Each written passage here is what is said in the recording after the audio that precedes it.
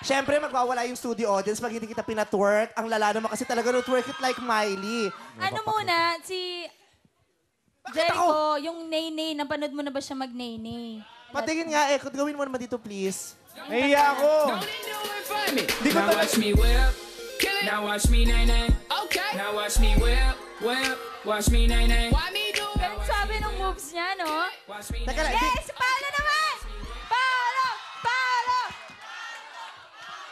When I throw, throw, throw, throw, throw it up. Diyos ko si Paolo. Nakakatawa si Paolo parang bata. Humawak Yan sa Miley upuan. Sabi, wag, wag. Humawak sa upuan. Go and do it for me. Now watch me whip. Kill it. Now watch me Paolo, nay try na natin yung name. Watch me whip. Paano ba? Go, Paolo. Now watch me whip. Kill Wala ko alam dyan, bro. ah. Okay. Now watch me whip, whip. Watch me nay nay. Can you do it? Now watch me. Watch me. Watch me. Yeah.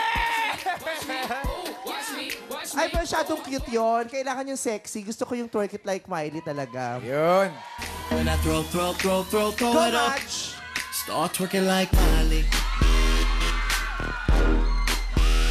Twerking like Miley.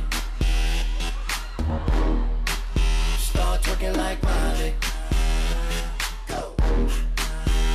Twerking like Miley. Ang galing, no?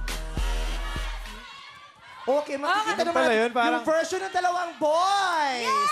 When I throw, throw, throw, throw, throw it up. Start twerking like Miley. Teka lang, like yung version parang kang clapper sa pelikula. Hindi, echo.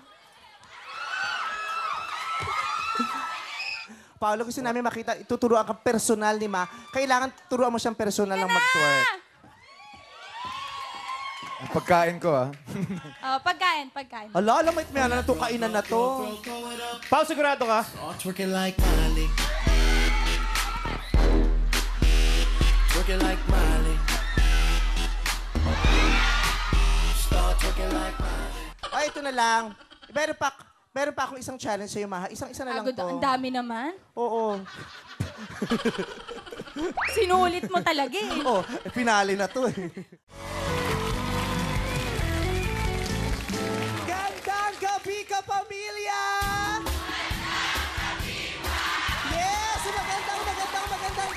Magandang, maganda tayong lahat.